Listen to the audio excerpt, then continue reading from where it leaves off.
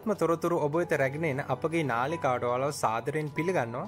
ඔයාලා තවමත් අපේ channel එකට අලුත් නම් දැන්වම subscribe කරලා ළඟම තියෙන සීනු ලකුණත් ඔබන්න මේ වගේ වීඩියෝස් ඔයාලට එතකොට දැනගන්න පුළුවන්.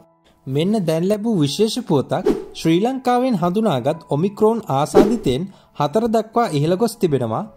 ඔමික්‍රෝන් නව කොවිඩ් ප්‍රභේදය ආසාතිත බවට මෙරටින් හඳුනාගත් පුද්ගලින් සංඛ්‍යාව හතරක් දක්වා ඉහළ ගොස් තිබෙනවා. ශ්‍රී ජයවර්ධන විශ්වවිද්‍යාලයේ ආචාර්ය චන්දිම ජීවන්දර මහතා සඳහන් කළේ පසුගිය දිනවල වාර්තා වූ කොවිඩ් ආසාදිතයින්ගේ ජෛව සාම්පල පරීක්ෂණවලදී මෙම නව ඔමික්‍රෝන් ප්‍රභේදය ආසාදිත පුද්ගලයන් හඳුනාගෙන ඇති බවටයි මෙම තත්ත්වය සැලකිල්ලට ගැනීමේදී ඉදිරි කාලය තුළ මෙරටින් වාර්තාවන කොවිඩ් ආසාධිතීන් සංඛ්‍යාව කැපී පෙනෙන ලෙස ඉහළ යාමක් අපේක්ෂා කරන බවත් ඒ මහතා වැඩිදුරටත් පෙන්වා දෙනවා.